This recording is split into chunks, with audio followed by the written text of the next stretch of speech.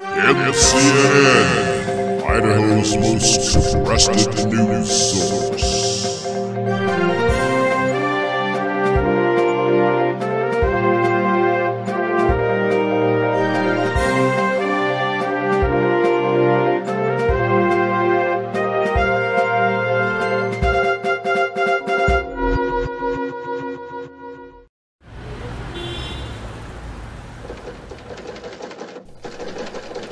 Welcome back to the Man Cave News Network, MCNN. I'm Donald Frazier. Now, we here at MCNN, we do feel like self esteem is important.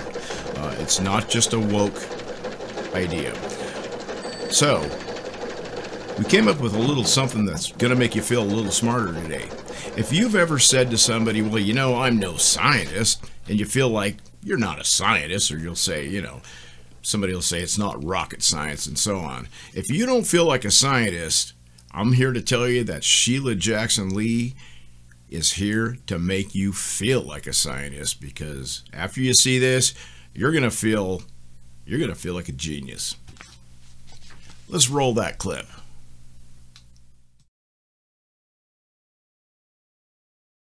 unique light and energy so that you have the energy of the moon at night. And sometimes you've heard the word full moon. Sometimes you need to take the opportunity just to come out and see a full moon is that complete rounded circle, which is made up mostly of gases. And that's why the question, the question is why or how could we as humans live on the moon? Are the gases such that we could do that? The sun is a mighty powerful heat.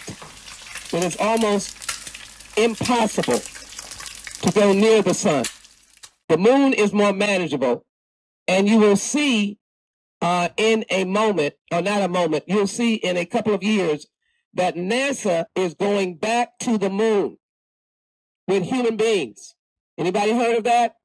Yeah, I heard of that. Yeah, I heard well, of that. Well, I know there's some humorously saying so, but we will we are working now in the Artemis project to take human beings, astronauts, to land on the moon.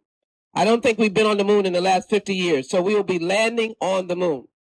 What you will see today will be the closest distance that the moon has ever been in the last 20 years, which means that's why they will shut the light down because they will be close to the earth, which is an amazing experience and what we are supposed to experience. And I'm hoping we can complete darkness, that everything will be shut out. Now we don't have any animals around here to be able to. Um, maybe we'll hear some dogs barking. What how they are impacted, but you will be able to tell because there'll be complete darkness. You have the legitimate glasses, do you not?